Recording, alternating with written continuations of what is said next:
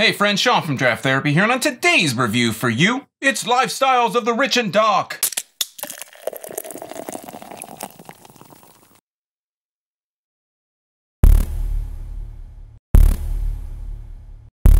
Bourbon Maple Wishes and Pecan Dreams is an 11% bourbon barrel aged porter from Oddside Ales in Grand Haven, Michigan. Oddside is back at it again, and this time they're hitting us with a barrel aged porter. Every year on Black Friday, they have a release event, and this year's was with Rye Hipster Brunch, which you can find a link from last year's beer in the description, Raisins, Almonds, and Figs, Oh My, Big Kahuna, and this beer right here, Bourbon Maple Wishes and Pecan Dreams. In my opinion, Oddside has a great pedigree of bourbon barrel aged beers, but I don't think I've had a porter from them yet. This one's sneaking out in limited supply, and mine retailed for about eight bucks. Let's get a closer look at the label and get this beer into a glass. Uh, fun fact pecans aren't nuts, they're technically drupes, just like coconuts, which you might remember if you watched my banana and coconut dragon's milk review. Link below. So we're going to take a look at the label here. It's a odd side label, really on their bottles, on their cans. They usually just do like a one panel. It's just kind of the front, it wraps around, has the government warning or some kind of information on the side. And this one is uh it's a dark, I'd say it's a little lighter than black, but it's probably supposed to be matte black with a gold kind of label on it. It says odd side Ales with the three hops and a pecan pie on a dish. It says uh, with uh, maple leaves around it. It says bourbon maple wishes and pecan dreams, bourbon barrel aged porter with maple syrup and pecans. And this one is manufactured or I guess bottled on 11 11 13 2018. And on the side here, it says keep refrigerated, drink fresh, 12 fluid ounces, the 10 cent deposit, 11% alcohol by volume, brewed and bottled by Oddside Ales in Grand Haven, Michigan. And uh, I gotta say, you know, before I open this, I I get excited about beer just like everybody, but I try not to let the hype get to me. I haven't watched anything about this beer yet. I haven't really read much about it. I was almost kind of considering not picking it up just because, uh, again, eight bucks for a bottle, and they had it at that release for Black Friday. I didn't think I'd be able to find it. Then it started popping up. I have all this beer that I already have to try and drink, uh, and this was just going to kind of add to the pile. But it sounds really good. So I'm just really kind of interested in trying it out. So we're to open this one up. Has the Oddside um, ales typical cap. I don't know if they do any kind of special caps. This is a white cap, has the green uh, bine with the hops on it and the leaves and all that fun stuff. It says Oddside ales. Let's put a nose on it here. Yeah, that smells really sweet. Um, I'm getting a bourbony sm- smell out of it, uh, but also I am getting a kind of a, a, maple syrup scent. And there's almost, I mean, no, I'm not even going to speculate. I'm just going to pour it. So let's pour this in the glass. Very thick looking, very dark.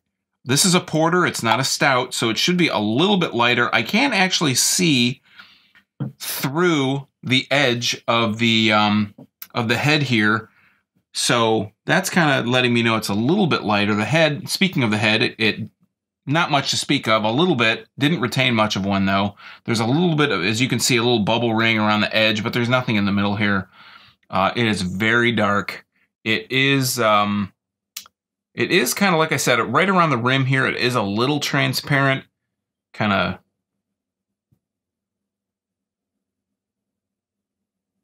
Hmm. Hmm, I'm getting a smoky kind of scent. I'm smelling a little faint bit of bourbon in there. The maple, like I said, it's a lot lighter though than it was when it came, you know, just directly out of the neck of the bottle. I want to say I'm almost picking up like an ester, like a banana kind of scent to it, but I'm I want to dive in. So cheers.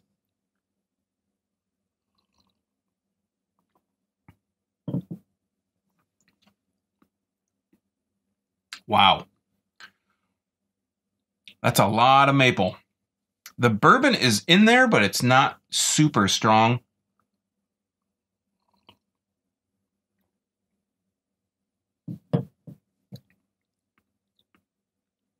I'm actually, when you kind of roll it on your tongue, that's when I'm picking up the bourbon. I'm not picking it up when I first drag it in. I'm not picking up uh, on it too much on the swallow. It's more when it kind of rolls on my tongue. I feel that kind of bourbon, that that uh, alcohol kind of bite to it. it. Doesn't burn. There's no burn to it as it goes down.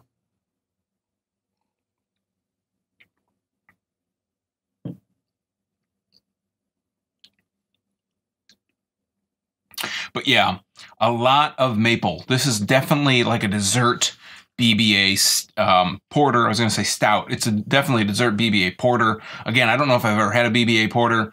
So, but it's very close to being a stout, or at least, you know, they're then they're really close to each other. Anyways, the styles really aren't much besides just kind of guidelines. So, I, porters and stouts are really close, and this has, um, yeah, I don't know if I, I, you know, I do. I was going to say, I don't know if I get the pecan, but I do. I get it on the tail end. There's kind of this roasty, kind of nutty taste on the tail end, and that has to be what the pecan is. Initially, um, it's very sweet though, and you, like I said, you get that kind of bourbon. It enhances that maple. That's why all these places are doing maple and bourbon, right? Because they go together. It's not like they're these totally foreign tastes that don't match up together. It's like peanut butter and chocolate. You know, we just keep mixing them together because they taste good. Um, but with the bourbon and the maple,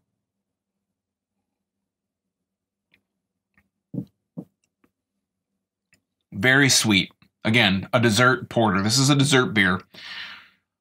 But the maple, I'm sorry, the pecan adds that that roasty nuttiness on the tail end that really just makes it for me. Uh, if that wasn't in there, I don't know if I would like that this nearly as much as I do. I almost like I'm drinking it and I'm thinking of CBS while I drink this, to be perfectly honest. But I think the thing that CBS had going against it for me is that the it was too much maple and I'd had it the year before. If the if they had put it out as a different beer and they called it something else, maybe then I would have a different opinion on it. But because this is a new beer, this is out this year, the first year is this year, and it has a whole lot of that maple taste, but again, it has the maple, it has the bourbon, but it has the pecan, that nuttiness, that roasty kind of tail end that just makes it that little hair different. And that's what I like about it. I like that that pecan's in there.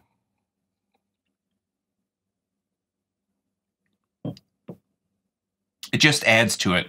You know, the beer isn't just the swallow. It's not just bringing it in your mouth. It's not just holding it in your mouth. It's not just the perceived sweetness. It's also the aftertaste. If the aftertaste of something, you could drink something that tasted like Kool-Aid, right? But if the aftertaste tasted like, um, sweat rolling off somebody's, you know, crack, then it's not going to be something that you want to drink. So with the aftertaste, I really, I mean, I'm, I'm a big pecan fan uh, and the the nutty kind of pecan aftertaste just makes this porter for me. Um, and and again, if it wasn't there, I'd probably think a lot less of it. At 11%, could I drink this very quickly and just finish this whole glass very quick? Yes, of course I could. But I don't want to. I want to sip it because it's. I know it's higher ABV. It's going to hit me on the tail end if I drink too much too fast. But on the other hand, it's also something you kind of want to savor. Uh, again, I'm drinking this more because that aftertaste is so good and it hangs out. It's still here. After that most recent drink, I still have the aftertaste, and that's the part that I like the most about this. If you're a pecan fan, uh, and you weren't a huge CBS fan, I think that this might scratch that itch for you. Uh, I'm really digging this from Oddside, so great job. Kudos to Oddside. All right, friends, that has been Bourbon Maple Wishes and Pecan Dreams from Oddside Ales. Have you ever been to one of their Black Friday releases? Have you had any of their releases I mentioned earlier? Let me know in the comments down below. And while you're down there, subscribe if you're a fan of Michigan beer. I'm here doing this twice a week, Tuesdays and Thursdays, Michigan beer. You can also find links to all my stuff, social media, Amazon links, merch, all that good stuff in the description below this video. So until next time, I'm Sean from Draft Therapy. Thanks for stopping by. And remember, drink craft beer, support your local breweries wherever they are, and don't forget to treat yourself to a little draft therapy. Thanks for watching. Cheers.